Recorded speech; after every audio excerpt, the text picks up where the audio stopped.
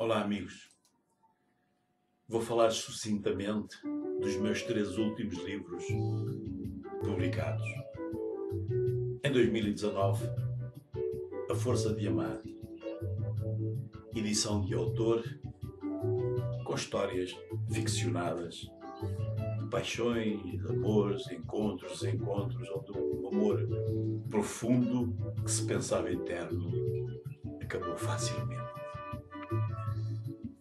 Depois, em 2020, em setembro, lancei este de poesia, pois desde 2016 não tinha lançado nenhum poesia, e neste constam alguns sonetos, estrofes livres, e foco bastante Angola em vários poemas como sabem, Angola está no meu coração, não posso fugir a este sentimento.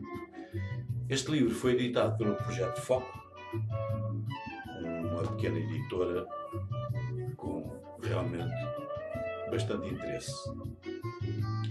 E ultimamente, em janeiro, precisamente, foi lançado este romance,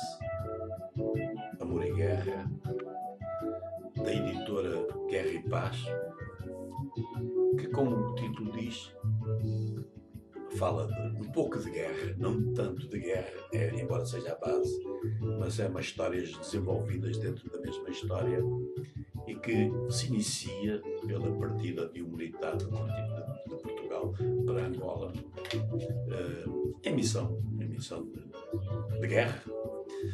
E, portanto, a partir daí criaram-se várias situações com bastante interesse, descrevendo lugares que todos gostam e quem viveu em África em Angola, concretamente, gostará de ler certamente. E são assim estes meus três recentes livros, os meus três meninos mais, mais novinhos, que é com prazer que enviarei a quem estiver interessado.